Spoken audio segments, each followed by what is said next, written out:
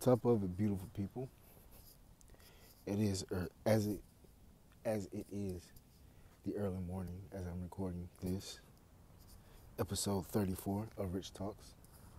It's currently 4:48 a.m.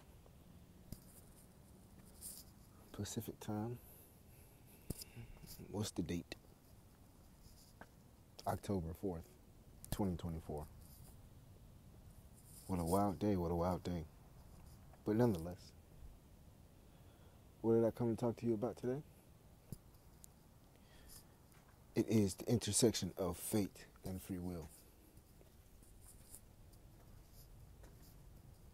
Yes, the age old debate between fate and free will.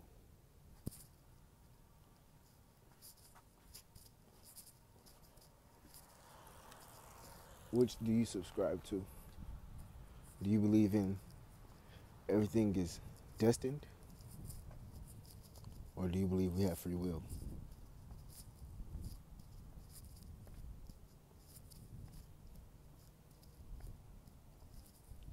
Are we truly free when you really break it down to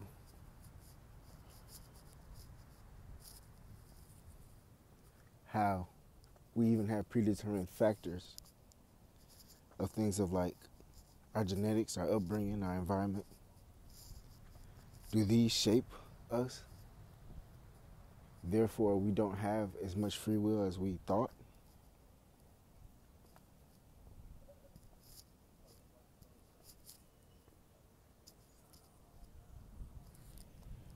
Or what if we bring in the realm of quantum physics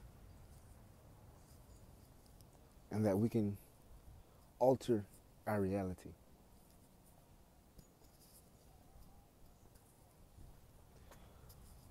If you ask me, I believe we're in the middle of both.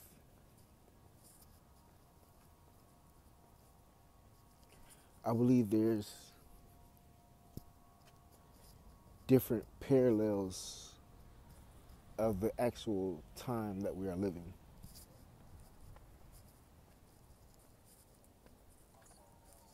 Meaning,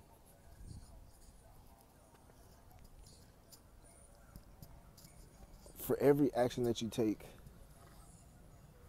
there are other predetermined outcomes that can happen after that one action that you take. So, say for instance, you make a decision to go left. Now that you chose left, there are predetermined outcomes that can happen once you turn left. There's predetermined factors that'll happen if you turn right. There are predetermined factors that'll happen if you go straight. But you have the free will to choose if you go left, right, or straight. So I believe we are living in not multiple realities, but parallel realities of parallel universes. Or based on your upbringing, based on your predetermined factors that was already predetermined by the universe. You know, all that has a play in it. Once you pass that, now that's what comes into play, which will determine how you choose to live.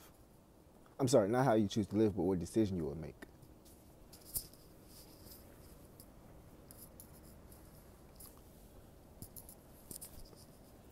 Almost like chess.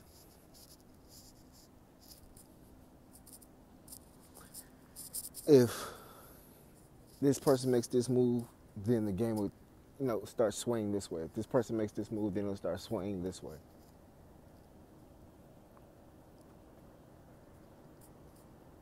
And the reason why I say that is because it's clear as day for me. Because you can sit back and really see it. It's like, ah, if I wouldn't have made that mistake, then I could have did this, did this, did this, did this, did this, and I'd have been over there. Or had I made this decision, this would have happened, this would have happened, this would have happened, this would have happened, this would have happened. Which is true But all other points in that reality you would have had to make to come out you would have had to make specific choices for that outcome to come as you have seen it. So yes, that is true, but then again, you know, certain aspects of it, no.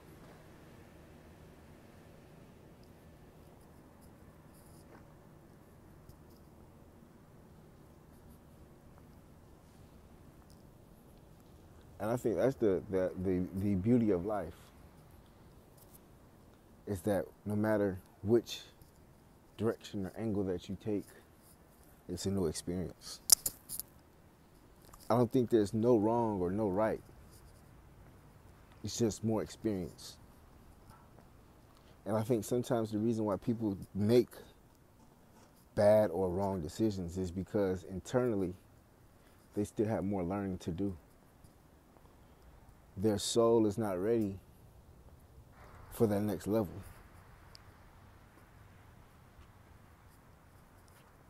It's not ready to graduate. Therefore, it makes those decisions and aligns itself with those outcomes in order for it to continue to grow.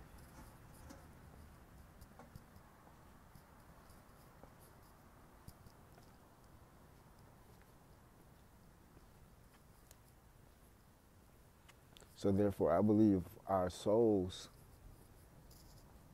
are leading the way on this quest of freedom versus determined fate.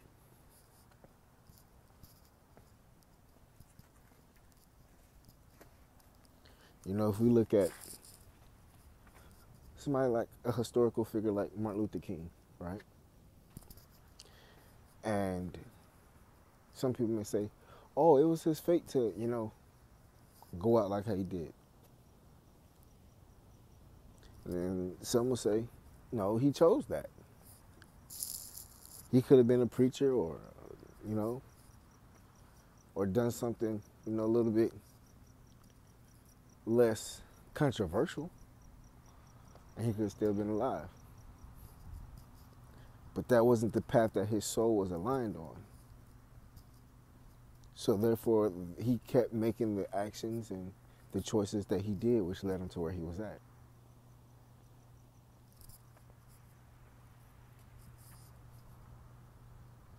Not saying that that's a problem or anything like that because we're grateful, but that's how it is.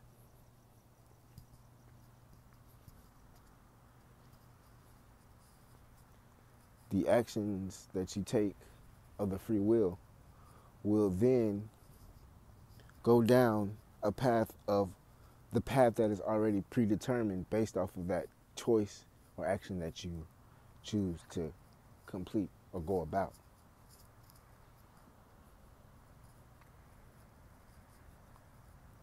Which is actually kind of wicked, kind of trippy when you think about it.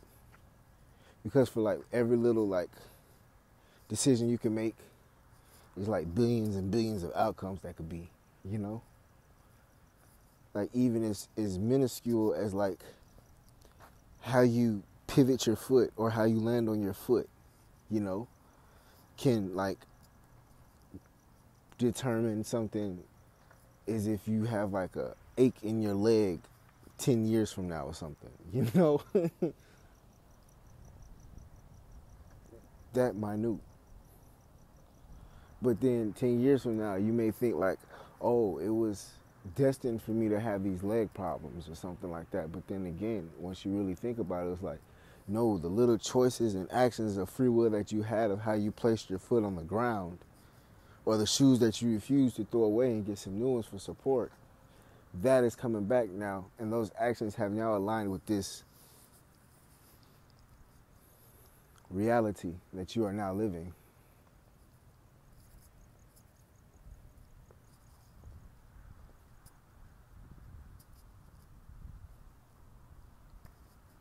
And as I say, nothing is a mistake or nothing is. So when they say, like, um, well, why don't you just make better choices? Or why did that person make this type of choice? Or move like this or this and this? And like I said, it's because their soul was aligned for the choices that they made. Their soul was not ready for that decision that could have put them on a better path or whatever. They weren't ready. The human conscience may have been, but their soul wasn't ready to graduate to that level.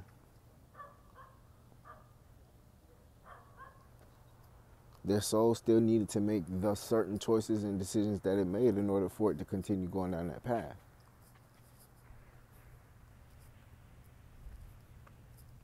This is why I don't beat people up so much when they make the type of decisions that they make or you know when people do you wrong in relationships and things of that sort that's why it never turns out like that. What's good? How you? Just checking out. All right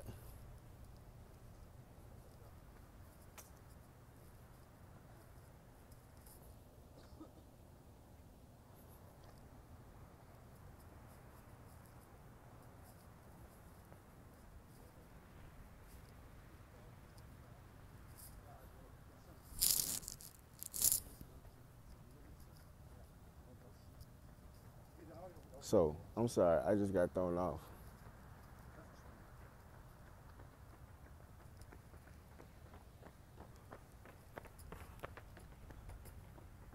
So, yes, are things predetermined? I believe there are millions and billions of outcomes. Ah, that's what I was talking about. Your soul not being ready. Okay, back. Yes. So some people's soul may not be ready. This is why we don't beat up on people, you know, in relationships when they may do you wrong or da da da da da. You know, our human consciousness and our 3D, 3D consciousness and all that. We we may want to. We may want to beat up on them, you know, and, and call them names and do all this stuff because they've done us wrong. But when you take a step back and you really analyze it and think about it, they probably did you a favor, but that's neither here nor there due to this conversation. But the thing about it is that they probably weren't ready. Their soul was not ready for that next level of life, that next level of the choices.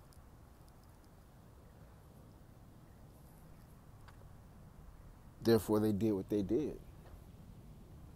Like I say, that's why I don't try to villainize people or call people bad and da da da da. Because when you take a step back, it was just they weren't ready. Therefore, their actions and things of that sort aligned with it, and the, the outcomes that happen happen.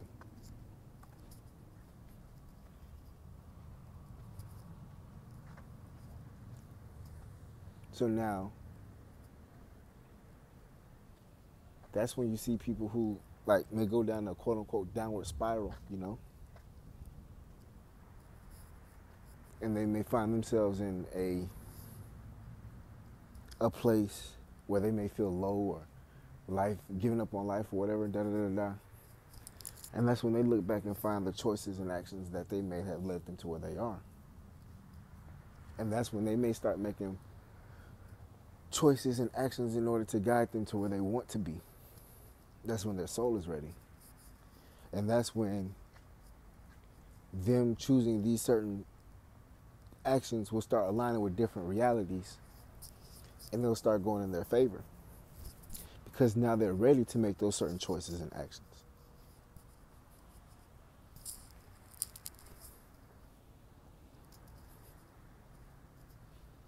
This is why they say you can't force people, you can't change people. They're going to change on their own. You know?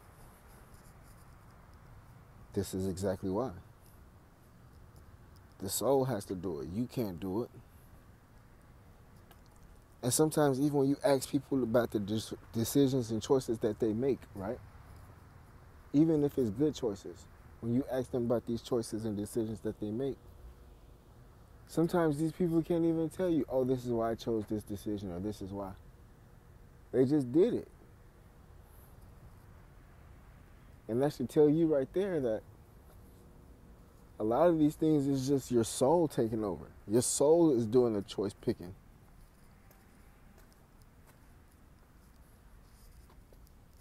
It's not even you. You know, and that goes into where they say that we're not battling against flesh, flesh, but we're battling against spiritual, you know, we're battling against spirits. You know, it's not the people that's bad, it's the spirit. Well, I'm not even going to say bad in this context, especially. It's not the spirit that we're battling against. I mean, the person that we're battling against, it's the spirit.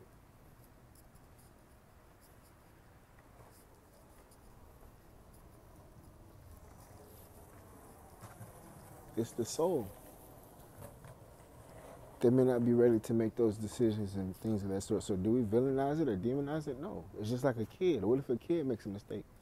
You don't villainize the kid or demonize the kid or anything of that sort. You have empathy for the kid and you allow the kid to grow. And it's the same thing with people. You you have empathy for the people and you allow them to grow. Especially when you know that the choices and the decisions they're making is based off of them not being ready to make certain decisions and actions to have certain outcomes. And that's okay. So, do we have freedom or free will? Or is all this just predetermined?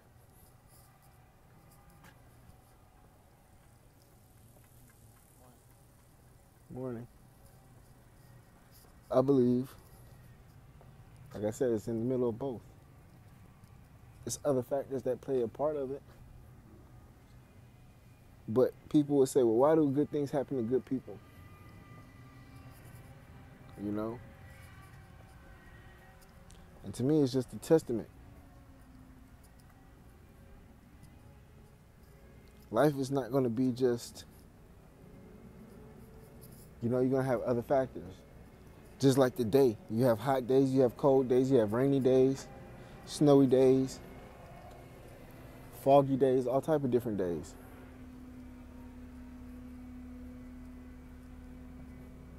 Now, how do you choose to move when these outside forces play a part? It's inevitable.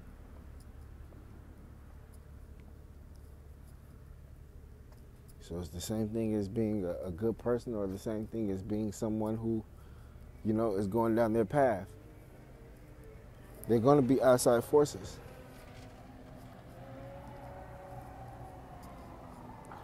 I'm not going to dive super deep into what these outside forces are.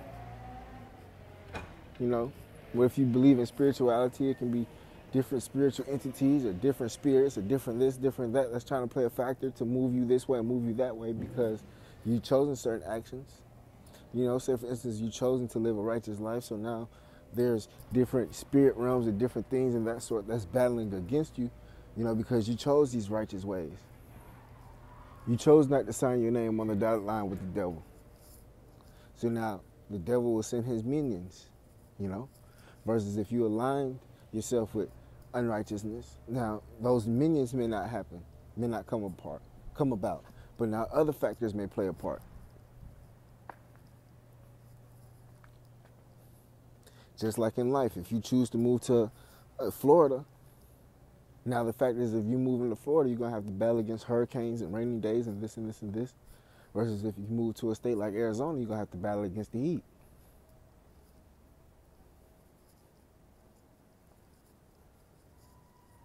So if you choose a path of righteousness, choose the path of, you know, this and this and this, certain things are going to be playing a factor against.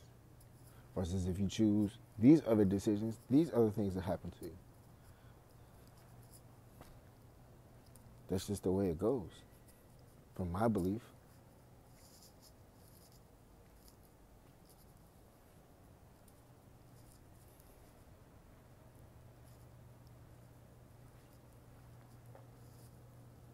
But you make your decision, you make your choice. Because if everything was completely predetermined, it would be no point in this. It would be no point in life.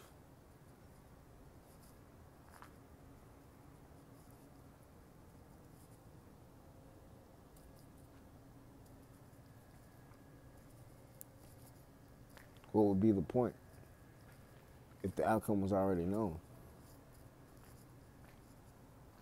That would be a waste of resource.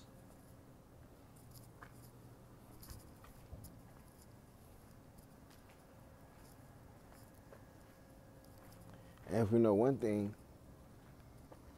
God and the universe is efficient. Everything has a purpose. So if all this was already written, if all this was already, then what would be the purpose?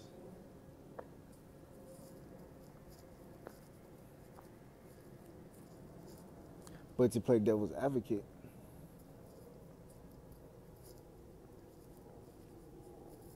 if all this was predetermined,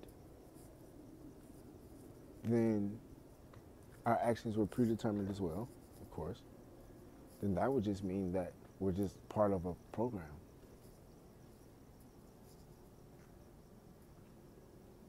Then the choices that you make that you believe were free will was already predetermined. So in that case, I would say it still doesn't matter. Because how would you have known? Say, for instance, you, you raise your right hand and say, Oh, I made that decision. Well, if it was predetermined that you would raise your right hand, then how do you know if you made that choice?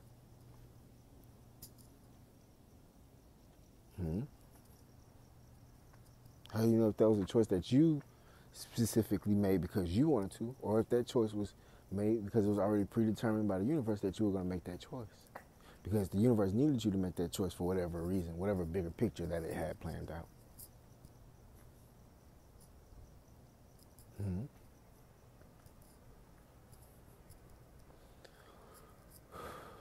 The great thing about this is that there's no right, there's no wrong. It's just how you choose to see life and how you choose to live life and how you choose to see your reality and how you come to grips with things and how you choose to sleep. But there's no right or wrong.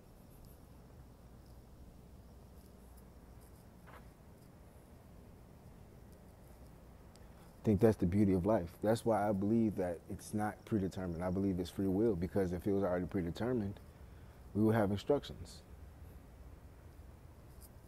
Like when you buy a desk from IKEA. you know, when you buy something from IKEA, what does it come with? Instructions. A predetermined way for you to put this desk together to get that desired outcome. Correct? When you buy anything, it comes with instructions on how to put it together to get that desired outcome. Life don't come with instructions. What instructions do we have? We don't have a guidebook. The only thing that we have is like a, and that such is a moral compass, is a soul. That's it. Other than that, you make those choices and decisions that you choose.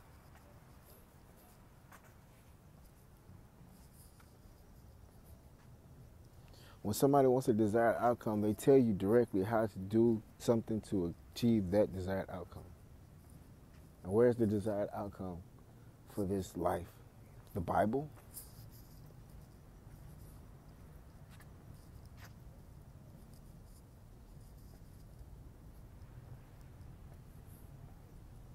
That could be. But the reason why I say it may not be the Bible is because there's it's been written by man or rewritten by man. And there's so many different forms of versions, and there's so many different forms and versions of religious text that all sway in the position of who's reading it based off of their background.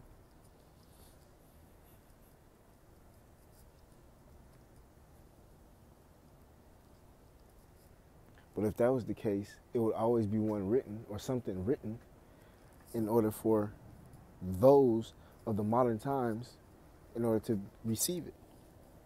And also, that book or that religious text started at a certain date, but what were those people to do before that date? Meaning, if this religious text came out in 2000, what did the people in the year 1999 and before live their life based off of? What were their instruction manual?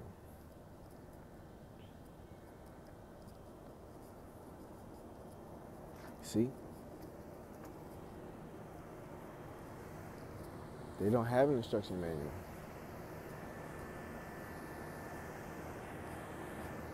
So that's why I don't necessarily say it's a, the Bible is the almighty religious text based on how we're supposed to live our life, more so than that soul that was given by God, that soul that was given by the divine that you utilize.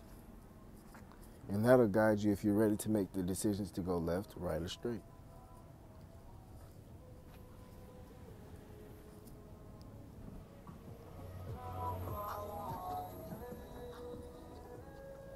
Almost like Neo in the Matrix.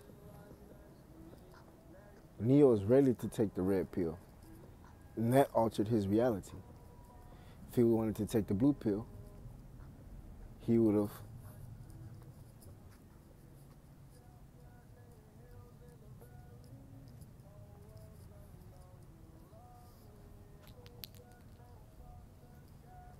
stayed the same.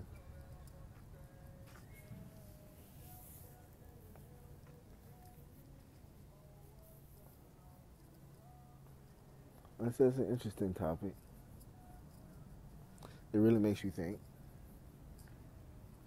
But I believe topics like this, and when you go in depth, it allows you to do the main thing that we were supposed to do, which is really live and explore. And we, we were really just supposed to just live this life as much as possible.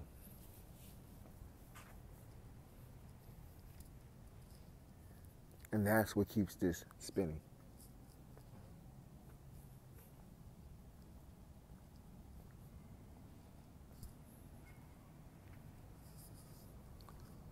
No more, no less. You just make the decisions and choices that you, you know, can see. That your soul is ready for.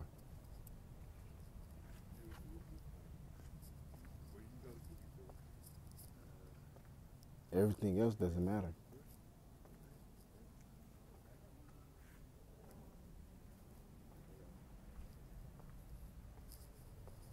Everything else doesn't matter.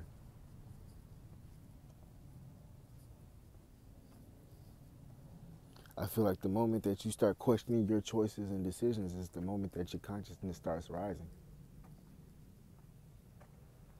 So if you're someone who's always made choices and decisions that led them in a place where they didn't like where they were, the moment you start saying, the moment you start questioning those choices and decisions, like I said, that's the moment your soul starts rising. And that's the moment that reality will start altering and changing based on how you see yourself and now the new choices and decisions that you're making.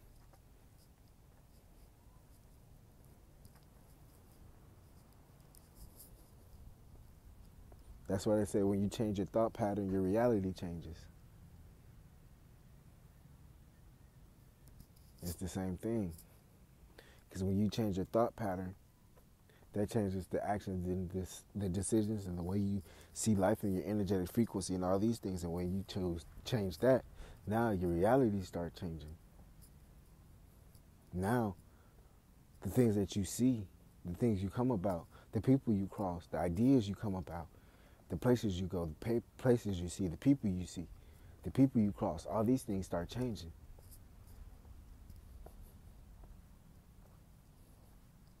all free will.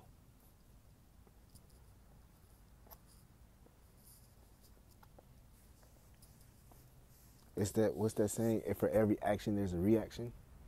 So the action of your free will will have a reaction, which is the predetermined reaction for whatever action that is taken. That's a good one.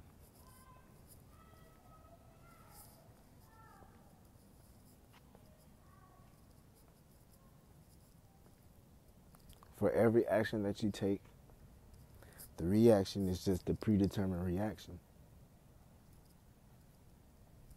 that has to come about.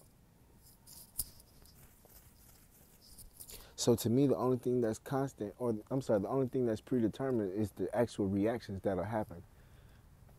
You choose which door you want to walk in. Whatever door you choose to walk in, the outcome is set.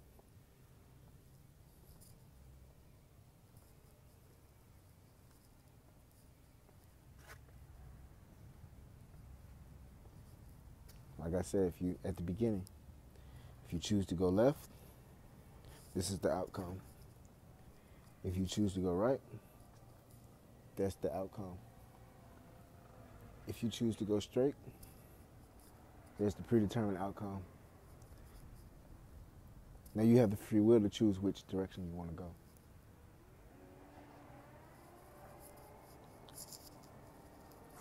Again, free will versus fate. This was a good talk. Hope it could help somebody. This is again, I'm sorry, again, this is episode 34 of Rich Talks. Y'all be safe. I love y'all. Love and blessings.